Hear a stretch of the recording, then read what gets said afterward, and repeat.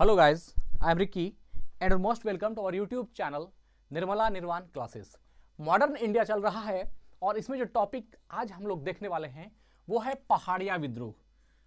अंत तक बने रहिएगा आज समझेंगे हम लोग कि पहाड़िया विद्रोह क्या है और बहुत ढेर सारी नॉलेज मिलेगी इस वीडियो में।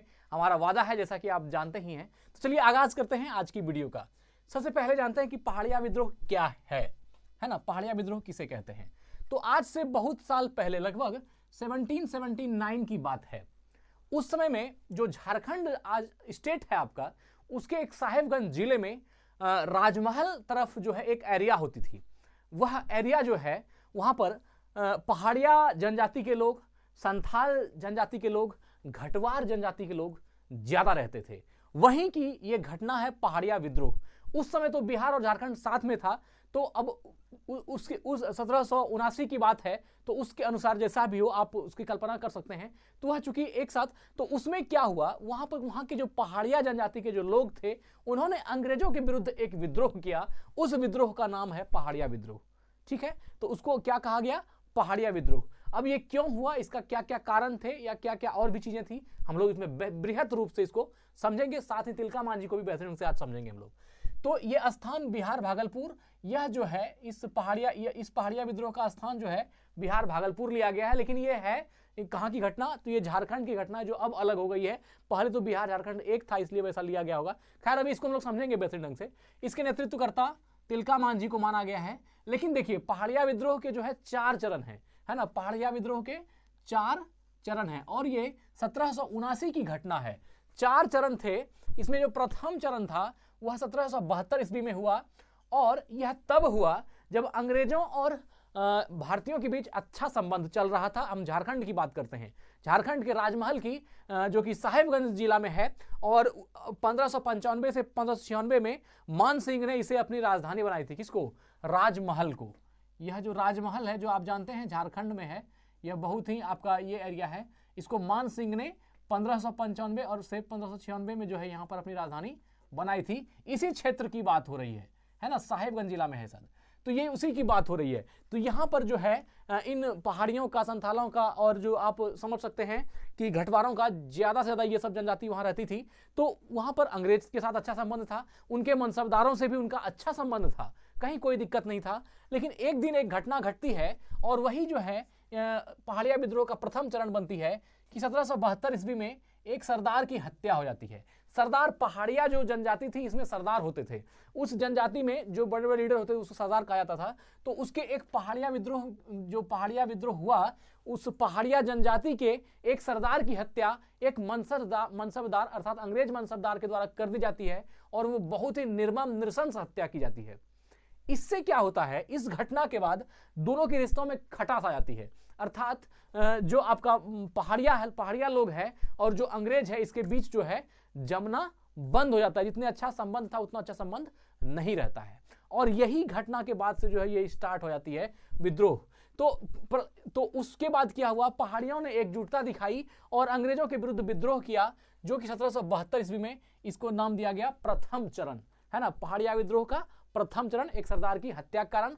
इस जो प्रथम चरण हुआ, इसका नेतृत्वकर्ता कौन थे? रमन्ना आहिड़ी। कौन थे? रमन्ना आहिड़ी जो है, इस पहाड़िया विद्रोह के प्रथम चरण के नेतृत्वकर्ता हो गए। ठीक है, अब अंग्रेज़ों और पहाड़ियों के बीच पटना बंद हो गया, सिर्फ़ एक सरदार की हत्या के बाद। ये बातें अब और भी रिश्ता खटास से खटास होती चली गई। दूसरा चरण इसका आता है, सत्रह ईस्वी में, जब पहाड़ियों को इसमें क्या किया अंग्रेज़ों से इसका बनना बंद हो गया। तो बहत्तर से लेकर अठहत्तर तक में छह साल होता है। अब अब राजमहल जो ऊंचाई पर है, पहाड़ी एरिया है, वहाँ पर जो आपका ये पहाड़िया निवास, जनजाति जो निवास करती थी, वो हाइट पर होती थी, ज़्यादा ऊंचाई पर होती थी। एक बार क्या हो गया? अकाल हो गया। तो अकाल हो गया तो जो लोग नीचे रहते थे, उसमें अंग्रेज़ भी थे और बहुत सारे अदर जो है, अदर जाति के लोग, जनजाति के लोग भी नीचे रहते थे और ये पहाड़िया लोग ऊपर पे रहते थे। तो अकाल होने के कारण क्या हो गया? नीचे वाले में भूखमरी हो गई और जो ऊपर ऊपर के क्षेत्र में पहाड़ों पर रहते थे, उन लोगों के लिए कंद, मूल, फल ये सब तो खाते थे तो उनको आराम से वो चीज़ मिल जाता था। तो इसके बाद जब वो लोग कभी कभी नीचे आते थे तो इस तरह की झड़पें जो है होती रहती थी, ये विद्रोह होता रहता था। है ना? अंग्रेज़ों और आप कह सकते हैं पहाड़ियों के बीच। तो इसमें क्या हो गया? अंग्रेज़ों को बार बार नुकसान होता था और बार बार दिक्कत होती थी। अंग्रेज़ों ने क्या किया? एक चाल चली। उन्होंने चाहा कि यहाँ बहुत सी जनजातियाँ रहती है, जिसमें कि पहाड़िया भी है, पहाड़िया भी है, संथाल भी है और साथ साथ घटवार भी है। तो ये ये सब जनजातियाँ जो है निवास करती है, क्यों ना इन सबको आपस में ही तोड़ दिया जाए? इसमें जो पहाड़िया जनजाति है ये ज़्यादा पावरफुल जनजाति थी। पावरफुल मत कहने का मतलब क्या हुआ कि नेतृत्व करने में आगे और लड़ने में या इन चीज़ों में ज़्यादा विद्रोह करने में ज़्यादा आगे होता था। इसलिए अंग्रेज़ों को लगा, अगर इस पहाड़िया संथाल और घटवार इस तीनों की जो अच्छा मित्रता है, अगर इस दोनों, तीनों को ही आपस में तोड़ दें और पहाड़िया को हम अपने में मिला लें तो संथाल और घटवार फिर मेरा कुछ नहीं उखाड़ सकेगा। इसलिए क्या किया, उन्होंने एक चाल चली और उसने क्या किया, यह जो पहाड़िया जनजाति थी, पहाड़िया जनजाति के जो लोग थे, इनको इस, देखिए, अब सबसे टैक्स लेना, लगान लेना सबसे लेने का काम हो रहा था, लेकिन उसने क्या किया? इस पहाड़िया को जो है, इसको नगद भुगतान और पेंशन देना शुरू कर दिया। किसने? अंग्रेज़ों ने। ये एक तरह से फूट डालने का काम कर रहा था कि पहाड़ियों को जो है संथाल और घटवार से तोड़ दो, क्योंकि ये तीनों मिलकर के एक बहुत बड़ी शक्ति होती थी और पहाड़ियाँ ज़्यादा ज़्यादा ज़्यादा तादाद में थे तो इसको क्या चाहा कि इसको अलग कर देते हैं। इससे क्या हो जाएगी? एक चाल हो जाएगी कि ये अंग्रेज़ अगर इसको अंग्रेज़ में मिल गया तो बाकी संथाल और घटवार भी कुछ ज़्यादा आवाज़ कर नहीं पाएगा। इसलिए उन्होंने क्या किया? पहाड़ियों को नकदी भुगतान और नकदी भुगतान और पेंशन देना शुरू कर दिया। इस तरह का जब ये देखा तो धीरे धीरे पहाड़ियाँ क्या हो गया? शांत होने लगा क्योंकि इसको तो मिलने लगा। अब फंस गया कौन? संथाल और घटवार, इन जनजातियों को कुछ मिलना नहीं था। तो अब इस तरह से, अब इन इन संथालों में और घटवारों में भी असंतुष्टि की भावना स्वाभाविक होगी। कुछ लोग जो होशियार थे, वो तो समझ गए कि अंग्रेज़ों ने पहाड़ियाँ से दोस्ती सिर्फ़ इसलिए किया है कि जो है कुछ काम अभी निपटा लें। अब बाद में जब काम हो जाएगा तो वह पहाड़िया को भी रिफ्यूज कर देगा। इस तरह की बात लोगों में आने लगा। तो इस साजिश को समझा सबसे पहले किसने? जगन्नाथ देव ने। जगन्नाथ देव जो हैं, ये जो जगन्नाथ देव हैं, जो कि यह इस दूसरे चरण का नेता बने मतलब कि नेतृत्वकर्ता बने, जगन्नाथ देव ने इस बात को समझा और उन्होंने यह पहाड़ियों से ही था, जगन्नाथ देव। और इन्होंने पहाड़ियों से कहा कि यह जो है अंग्रेज़ तुमको मूर्ख बना रहा है, इस तरह आपस में टूटो मत। सबसे पहले वारेन हेस्टिंग्स ने अपने कैप्टन क्रूक को भेजा, है ना? वारेन हेस्टिंग्स ने अपने कैप्टन क्रूक को भेजा कि इस पहाड़िया संथाल और घटवार को आपस में तोड़ दो। लेकिन ये, लेकिन वो जो है सक्षम नहीं हो पाया। बाद में क्लीवलैंड आया। बाद में कौन आया? क्लीवलैंड आया। और क्लीवलैंड ने ही ये पहाड़ियों को नकदी, भत्ता और पेंशन आदि देने की बात की, लगान मुक्त करने की बात की।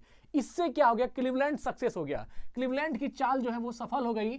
कि अब जो है ये आपस में टूट गया। पहाड़िया जो है अपना मज़ा लेने लगा क्यों अंग्रेज़ उसको देने लगा आराम से पैसा वैसा, सब कुछ फ्री कर दिया और संथाल और घटवार को दिक्कत होना शुरू किया। लेकिन जो लोग होशियार थे, वो समझ रहे थे कि अंग्रेज़ किसी का नहीं है।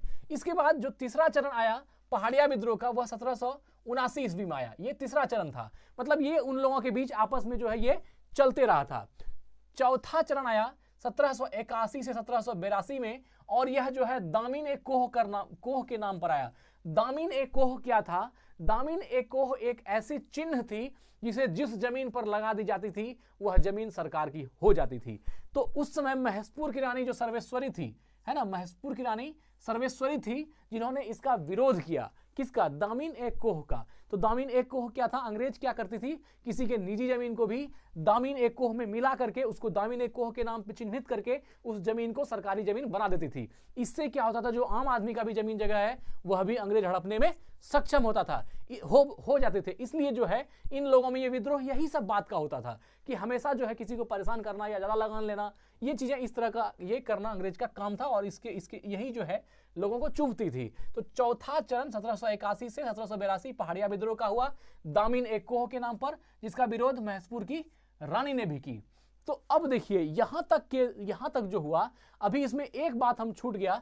दूसरा चरण जो सत्रह से सत्रह सौ अठहत्तर में हुआ, ये जो पहाड़ियों की नकदी भत्ता और उसको जो पेंशन दी गई अंग्रेज़ों के द्वारा तो इस साजिश को जगन्नाथ देव ने समझा जो कि एक पहाड़ी थे। और साथ ही इसको जो दूसरा व्यक्ति समझा, वो है तिलका मांझी किसने समझा? तिलका मांझी ने। जो बाद में संथाल विद्रोह या या तिलका आंदोलन भी उसके नाम से है तो तिलका मांझी ने इस चीज़ को समझ लिया। कि अंग्रेज़ की जो ये फूट डालो, शासन करो की नीति यह यहाँ भी लगा रहा है। अर्थात जो पहाड़िया है, उसको संथाल और घटवार से अलग कर रहा है और अलग करके जो है वह अपने आप में सक्षम सक्षम हो पा रहा है। खैर, वारेन हेस्टिंग्स ने क्रूक को भेजा तो वो सफल नहीं हुआ, लेकिन क्लीवलैंड ने ऐसी चाल चली कि नकद जो है आपको पहा, पहाड़ियों को नकदी भत्ता भी मिलेगा और पेंशन भी मिलेगा लगान भी मुक्त हो जाएगा। इससे क्या हो गया? क्लीवलैंड सफल हो गया और ये पहाड़ियाँ जनजाति टूट गई लेकिन पहाड़िया जनजाति का ही एक नेता जगन्नाथ देव इसके विरोध में आ गया और उन्होंने नेतृत्व किया और क्या किया? दूसरा चरण में आंदोलन किया पहाड़िया विद्रोह किया। अब देखिए यह जो दूसरा चरण वाली बात है यहीं से तिलका मांझी और जो जगन्नाथ देव हैं ये दूसरे चरण में आ गए मुख्य शीर्ष पर तिलका मांझी ने इसका खुलकर विरोध किया। इस चीज़ का जो है, इसका विद्रोह उन्होंने खुलकर किया दूसरा चरण में। अब तिलका मांझी द्वारा क्या किया गया? क्लिवलैंड पर हमला कर दिया गया। क्योंकि क्लिवलैंड ने ही ये लागू किया था कि पहाड़िया को जो है पहाड़ियों को नकदी भत्ता दे दो, उसको पेंशन दे दो, लगान मुक्त कर दो, ये सारा चाल क्लीवलैंड का था और क्लीवलैंड ही सक्सेस हुआ। इसलिए तिलका मांझी की नज़र में क्लीवलैंड खटक गया कि इसी के चलते जो है सब कुछ हुआ है और ये भी बात सही था, क्लीवलैंड ही सफल हुआ था उसको तोड़ने में। इसलिए तिलका मांझी ने क्या किया? तिलका मांझी द्वारा क्लीवलैंड पर हमला कर दिया। और इसका कारण क्या था? अंग्रेज़ों द्वारा फूट डालने के कारण। फूट डालने में तो माहिर था, फूट डालो, शासन करो, काम करता था। वही चीज़ लगाया, तिलका मांझी के दिमाग में खटक गया कि क्लीवलैंड जब तक रहेगा, ये चैन से रहने नहीं देगा। ये हमको तोड़ भी रही है और हम पर शासन भी कर रही है। मार दिया। किसको? क्लीवलैंड को मार दिया तीर से। तीर से मारा, ये जख्मी था, मरा तो नहीं था, लेकिन बाद में जो है ये मर गया, ज़िंदा नहीं रहा। तिलका मांझी ने इसको मार दिया। तो तिलका मांझी द्वारा क्लीवलैंड पर हमला और कारण अंग्रेज़ों द्वारा फूट डालने के कारण तिलका मांझी का एक नाम जो है, ये जावरा पहाड़िया के नाम से भी तिलका तिलका मांझी को जाना जाता है। जावरा पहाड़िया के नाम से भी तिलका मांझी को जाना जाता है है ना? और देखिए, आंदोलन का प्रमुख केंद्र जो है, ये वंचरी ज़ोर अर्थात भागलपुर को माना गया। भागलपुर से वो वो एरिया जो राजमहल की है, जो झारखंड में है, वो दूर है। कुछ दूर है यहाँ से। तो आंदोलन का प्रमुख केंद्र बना वंचरी ज़ोर। भागलपुर का ही दूसरा नाम वंचरी ज़ोर जो है वो माना जाता था। तो वंचरी ज़ोर भागलपुर को बनाया और इसका प्रचार प्रसार जो है इस आंदोलन का संथाल परगना में, संथाल परगना में हुआ, जन आंदोलन के रूप में हुआ। है ना? तिलका मांझी का जो ये आंदोलन था, इसका प्रसार प्रसार संथाल परगना में हुआ और जन आंदोलन के रूप में हुआ। झारखंड में एक बहुत बड़ी जनजाति है संथाल की उस तरफ़, जो आदिवासियों से पूरी तरह से भरी पड़ी है। है ना? तो वो अब इसमें जो जो इस जो तिलका मांझी का आंदोलन हो गया, अब यहाँ से पहाड़िया आंदोलन से इसको आप तिलका आंदोलन भी कहीं कहीं लिखा मिलता है, लेकिन है उसी का हिस्सा। मतलब कि जो तिलका मांझी का रुष्टता का भाव था, वो अंग्रेज़ों के फूट डालने के कारण ही उसमें आया था। और उसी को लेकर के तिलका मांझी सामने आए थे कि लोगों ने जो है, हमारे इसको तोड़ करके जो है, वो हम पर शासन करना चाहती है।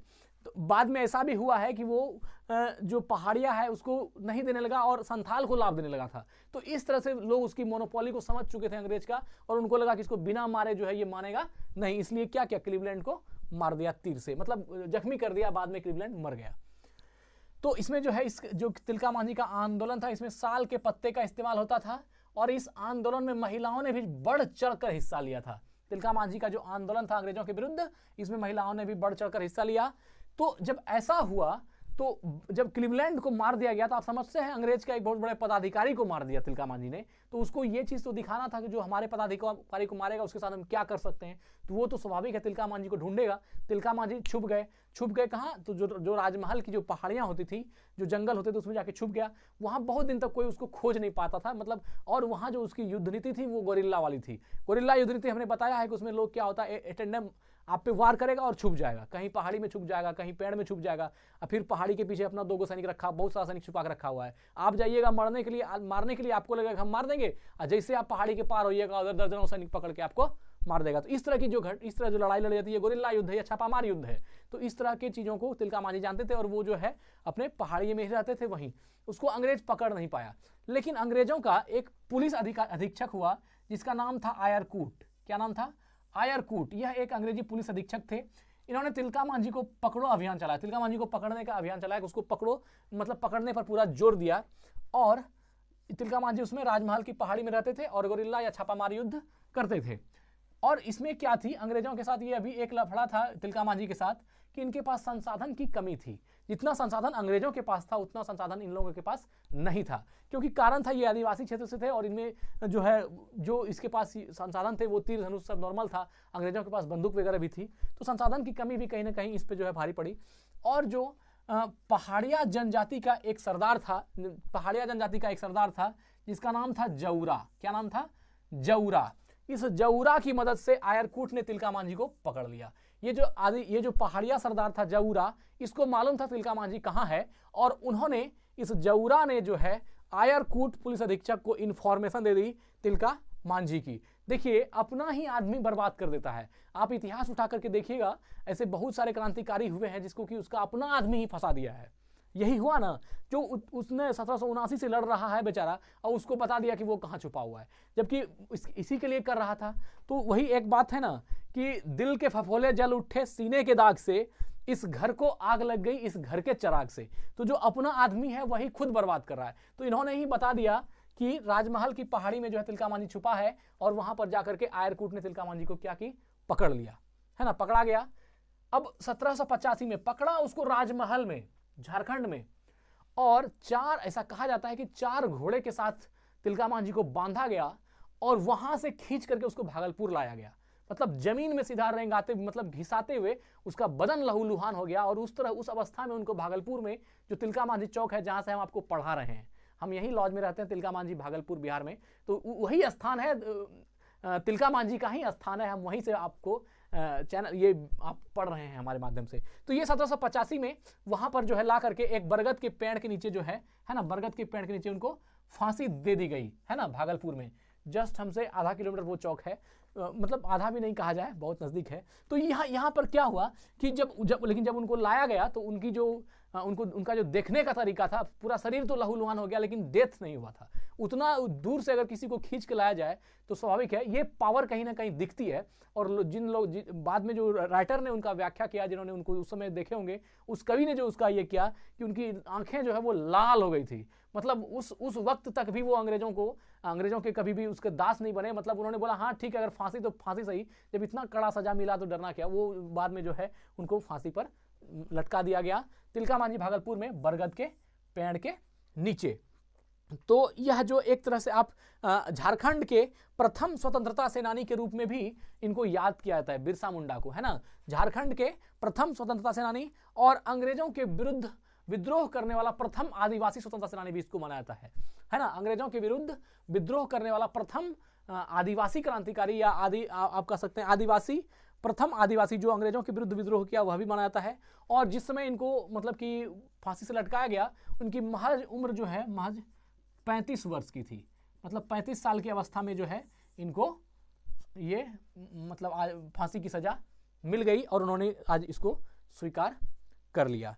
तो मित्र, आज हम लोगों ने पहाड़िया विद्रोह को सीखा साथ में जो इनके नेतृत्वकर्ता तिलका मांझी थे, उनको भी हमने देखा। तो ठीक है, कैसी लगी वीडियो को? बताइए कमेंट बॉक्स में। धन्यवाद, स्वस्थ रहें, अपना ख्याल रखें। जय हिंद।